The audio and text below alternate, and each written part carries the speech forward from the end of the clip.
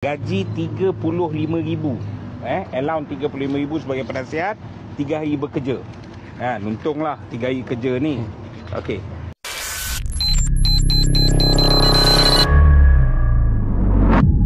Set perjanjian eh, set perjanjian yang milik laksana membuat perjanjian dengan Nurul Izzah Anwar. Dan dalam perjanjian tersebut ternyata ada menulis gaji RM35,000 eh allowance RM35,000 sebagai penasihat 3 hari bekerja. Ha untunglah 3 hari kerja ni. Okey. Benda ini uh, tular. Kita balik kepada flashback. Saya nak tunjuk apa yang berlaku eh. Uh, awal Januari Nurul Izzah temu ramah dengan media The Star. Eh media The Star. Temu ramah dengan media The Star. Dan uh, soalan provokasi daripada wartawan. Seolah-olah menggambarkan Nurul Izzah ini tak ada peranan dah kalah pilihan raya kan? Jadi dia sombonglah. Ego dia pun balas. Dia kata tak aku masih bekerja. Ada peranan besar. Aku penasihat bapa aku. Dalam penterjemahan semula bahasa Melayu mudah difahami kan? Okey. Kemudian uh, berlaku serangan. Bukan kita saja orang dalam kerajaan orang dalam parti macam mana boleh buat lantikan dan sebagainya? Ini nepotisme. Kemudian setelah serangan sangat teruk Datuk Seri Anwar bangkit dengan dia nak silent semua. Dia kata uh, apa namanya ni ini uh, Nurul Izzah ni sebenar melakukan pengobarnan bukan nepotisme. Kenapa? Tak dibayar gaji kan? Itu pun jadi persoalan kalau tak bayar gaji. You as a advisor to the prime minister you can access all the facilities contract tenders dan sebagainya. Eh ini dah karut dah kan? Dan itu anak engkau kan? Apa pengalaman dia? Apa latar belakang dia. Dan adakah hanya kerana dia anak Anwar Ibrahim dia dilantik? Jadi itu timbul persoalan. Sehinggalah uh, benda ini terdiam sehinggalah ditemui kontrak ini kan kontrak ini. Dan uh, 35,000 akhirnya kita timbullah kan persoalan. Kan bila timbul persoalan uh, dia datang pula lagi kontrak yang dua lagi kontrak kan Liana Mazuki uh, kalau tadi dia tersalah bukan 25,000 20,000 sebulan tapi still banyak kan dan kemudian uh, sebagai konsultan dan kemudian datang pula Nadine Fatin Shah Nadia Fatin Syahira yang merupakan pemimpin AMK yang juga rapat dengan Nurul Izzah. Jadi persoalan muncul adakah ini package sekali dengan Nurul Izzah masuk. Kan? Jadi kita tanya. Kemudian uh, selepas saya buat posting di muka buku saya, laman Facebook saya, uh, di peta pun kita buat, Nurul Izzah balas dua hari selepas itu. Oh fitnah, tipu, ugutan, kita akan saman, kita akan report polis. Lepas tu uh, dia kata, dan dia ugut staf laksana dengan oh sekarang audit prokas sedang dijalankan, kamu kena berhati-hati. Eh kita ni dikendalikan oleh uh, nombor apa kongsi apa negara ni kan. Ha apa nombor kongsi ni nak main ugut-ugut. Sebagai mana pergi laungan reformasi kamu? Adakah dah jadi reformati? Itu yang jebat sebut kan? Adakah dah jadi reformati? Kan? Sepatutnya bila kritikan ah, kita kena ingat Anwar ni ketua pembangkang ataupun calon bakal perdana menteri paling lama dalam dunia kan ketika kamu berlawan kamu uh, selalu cakap oh rakyat kena bangkit rakyat kena tanya itu ini apa semua kan dan bukan apa namanya ni tapi bila jadi perdana menteri kamu jadi sebaliknya dah macam Korea Utara pula Malaysia ni saman tindas ugut kan jadi uh, saya merasakan ini satu benda yang tidak betul. Izah kamu kena jawab. Jangan guna agensi kerajaan. Anwar kamu kena jawab. Ini tuduhan nepotisme. Kamu kena jawab Anwar Ibrahim. Kan? Dan uh, saya difahamkan tiba-tiba kementerian uh, dia cakap ini palsu fitnah apa semua kan? Tiba-tiba kementerian kewangan hari ini mengeluarkan kenyataan. Sebentar tadi saya jalan saya baca kementerian kewangan disiarkan dalam akhbar Sina kalau boleh saya menyebut eh, dan kementerian kewangan pula jawab bahawanya uh, ada ada apa namanya ni uh, kontrak yang di disiarkan itu sudah tidak terpakai kerana ada kontrak yang kedua. Jeng jeng jeng. Itu bukan palsu namanya. Itu namanya ada kabel angin. Ha, jadi ini persoalan kita nak tanya jelaskan dengan rakyat jangan sombong angkuh dan bongkar. Mana kerajaan reformasi itu? Kan? Dahlah semua benda kamu tak buat, rakyat terbiar susah. Ini benda-benda sakau macam ni, kan? Uh, kan itu kita hari ini hadir dan kita merakapkan pertanyaan secara rasmi dan kita harap dia menjawab secara rasmi. Ha, tapi kalau dia nak bertindak seperti Kim Jong Un, Kim Jong Il, kan? Ha, tak tahulah dia hantar surat, hantar saman, hantar apa terpulang. Kan mujur Datuk Seri Najib telah mansuhkan ICA.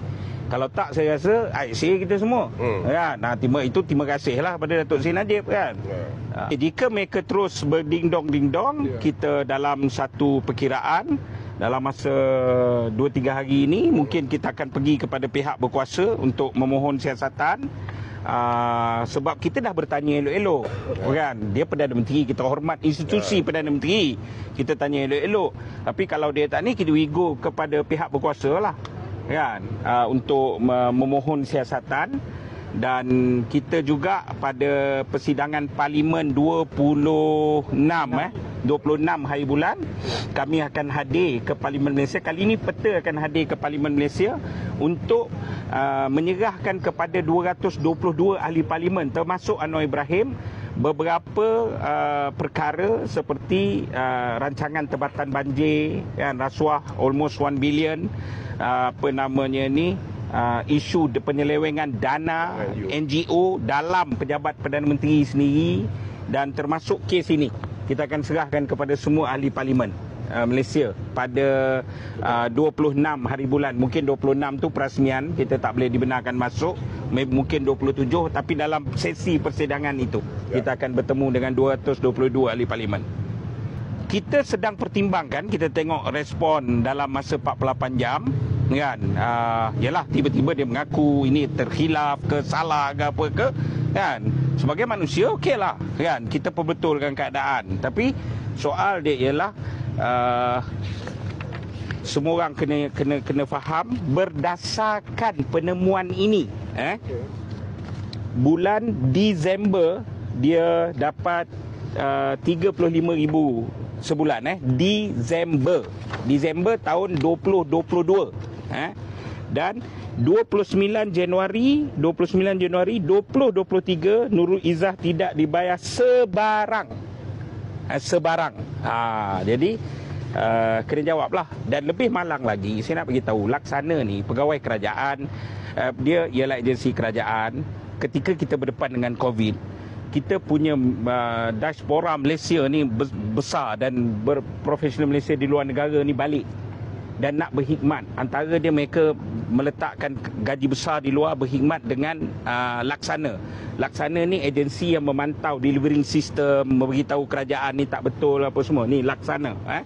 dan uh, mereka ni gaji besar pergi jadi pegawai kontrak di laksana tiba-tiba atas alasan politik kamu nak wujud padu apa semua ni kamu buang staff ini dan okeylah dia dapat uh, mengikut pemahaman kita makluman kita. Ini pun Datuk Seri Anwar betul kan lah kalau kita salah kan?